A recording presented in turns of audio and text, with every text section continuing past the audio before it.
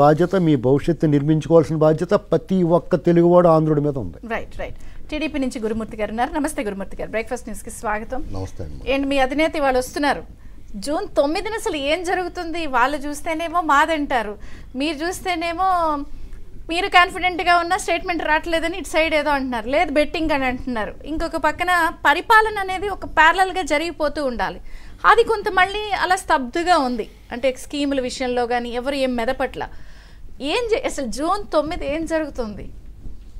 ఖచ్చితంగా జూన్ తొమ్మిదిన నారా చంద్రబాబు నాయుడు అనే నేను అనే పదాన్ని మనం వినబోతా ఉన్నాం. ఇది పంచభూతాల సాక్షిగా జరగబోయేటువంటి విషయం. ఈ మాట ఎందుకు చెబుతున్నానంటే వైసీపీ ప్రభుత్వం ఏదైతే ఉందో వీళ్ళు హడావుడి చేస్తామన్నారు వైజాగ్లో ఏదో రూములు బుక్ అని ఉట్టి మాటలే. ఎందుకంటే గతంలో నేను మహానాడు అప్పుడు కానీ యువగోళం అప్పుడు కానీ అకామిడేషన్ కమిటీలో పనిచేశాను. నేను హోటల్ వాళ్ళతో కూడా రాత్రి మాట్లాడా. ఫిఫ్టీ పర్సెంట్ డిస్కౌంట్లు ఇస్తున్నారు. ఏడు ఎనిమిది తొమ్మిది కూడా డిస్కౌంట్లు ఉన్నాయని చెప్పారు రాత్రి. అదేవిధంగా ఫ్లైట్ టికెట్లు కూడా మేము చూసాం. అవి కూడా కామన్గా మూడు వేల ఐదు వందలు మూడు వేల మూడు వందలు అట్లా ఉన్నాయి మరి వీళ్ళ హడావుడి ఏంటి?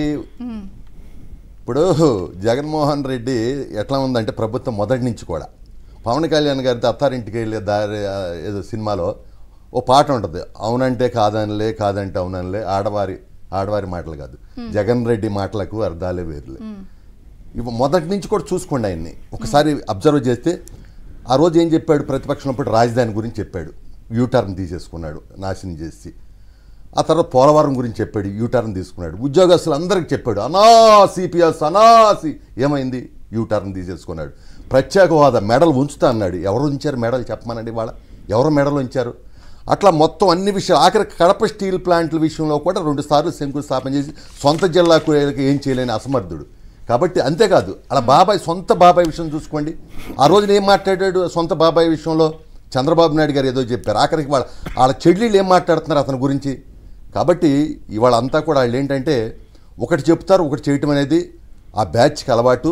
వాళ్ళదంతా పిట్టల దొరల బ్యాచ్ అనమాట ఒక ఆయన చెప్పంగానే రెండు ఆయన సజ్జల రామకృష్ణారెడ్డి అదే మాట మాట్లాడుతూ ఉంటారు.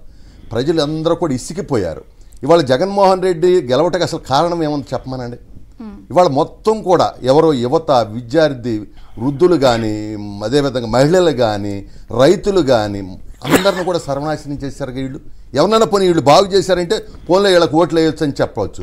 ఇవాళ ఒక్కటే చంద్రబాబు నాయుడు గారిని ఖచ్చితంగా ప్రజలు కోరుకుంటామన్నారు. అవునన్నా కాదన్నా నూట యాభై ప్లస్ సీట్లతో కూటమి మేము రాబోతున్నాం. దీంట్లో ఇది నేను సంవత్సరం నుంచి ఇదే మాట చెబుతున్నాను మీరు కూడా అన్నారు. అనిపించదమ్మా అనిపించదమ్మా. నేను? చెప్తా దానికి కారణం కూడా మీరు కూడా ఇంతవరకు కూడా ఈ మాట అంటే అంత ముందు డిబేట్లో కూడా నన్ను ఇదే మాట అడిగారు. అసలు మీరు బూతుల దగ్గర నిలబడతారా అని కూడా అడిగారు మీరు మీరే అడిగారు. ఇదే డిబేట్లో ఇక్కడే అడిగారు నన్ను.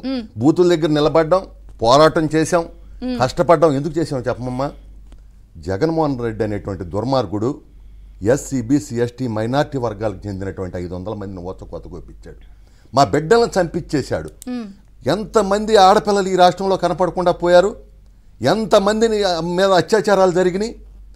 ఎంతమంది బిడ్డలు ఇవాళ గంజాయి బానిస అయిపోయి వ్యవస్థలు మొత్తం కూడా కుప్పకూలిపోయినాయి? ఇంకో పక్కన రాష్ట్రం మొత్తం కూడా అప్పులు ఉబ్బిలో ముంచేశాడు. ఏంటి ఈయన చేసిన సంక్షేమం ఏంటి? నేను మొదటి నుంచి చెబుతున్నా.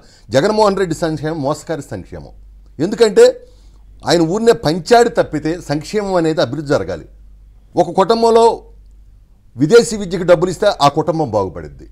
లేదు చంద్రన్న బీమా పథకం కింద బీసీలు కానీ ఎస్సీలు కానీ మైనార్టీలు రకరకాల పనుల్లో ఉంటారు. ప్రమాదాలు జరిగినప్పుడు ఐదు లక్షలు ఇస్తే ఆ కుటుంబం బాగుపడింది ఏంటి ఇచ్చింది ఐదు వేలు పదివేలతో ఎవరు బాగుపడ్డారు? నేను అడుగుతున్నా ఈరోజు చెప్పమనండి.